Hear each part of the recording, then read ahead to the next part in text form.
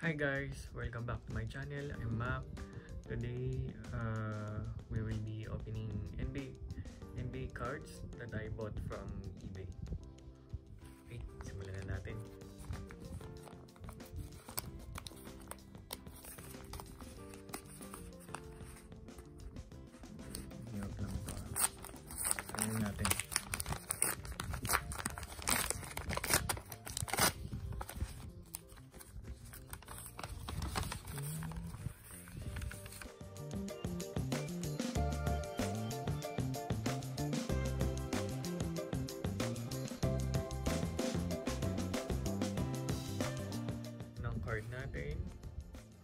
Rookie card ni Norman Powell. Yan. 2015, 2016, Panini. Complete Basketball Series.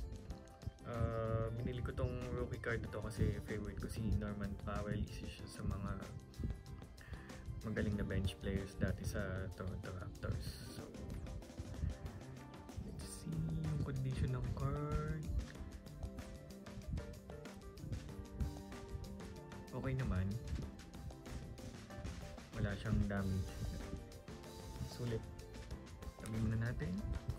Let's go to our second card.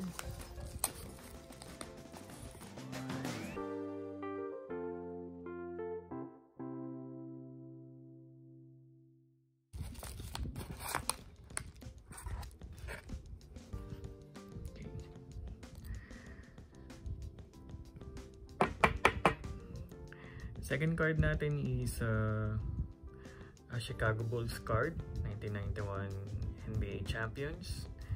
Nasa picture si Michael Jordan at ang uh, Finals Trophy. Ito yung uh, team ni Michael Jordan at ni Scottie Pippen. Kampi nila si Horace Gunn. Pero wala pa dun si ano si uh, Dennis Rodman. Okay naman yung card at wala siyang uh, wala akong makitang damage or ding. Kaya okay, sulit. Tabing na natin siya. Next up.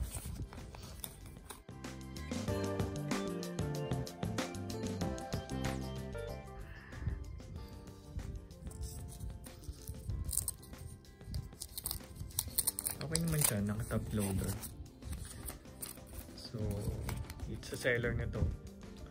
Dalawa in order kong card. Dalawang Vince Carter card din. Nauna, yung card ni Vince Carter, Fleer. Yung binili ko tong card nito kasi dinakdakan niya si Motombo dito sa picture. And alam naman natin na uh, isa sa mga best blockers si Dikembe nung panahon niya. Ito, itong card na to ay 2002 Fleer Skybox. The next card ay uh, Rookie of the Year card ni Vince Carter nung nanalo siya ng uh, award na to sa Toronto si uh, Rewind 99 card. Um, number card din pala siya. 14 out of 40. So, 2000s Fleer Skybox. Si Vince Carter nga pala isa ko ang isang isa sa mga players na PC ko. So, kaya ako siya binili. Okay. Let's go to our last card.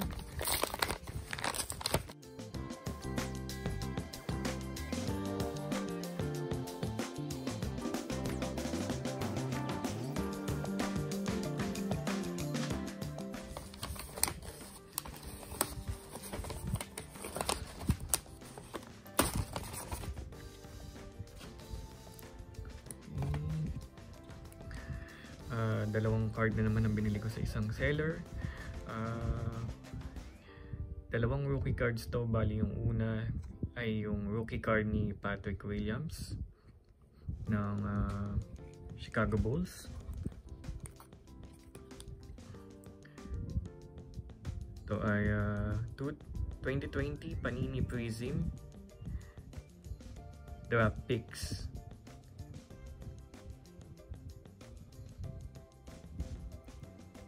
Florida State. And then pangalawa ay yung rookie card ni Tyrese Maxey ng uh, Philadelphia 76ers.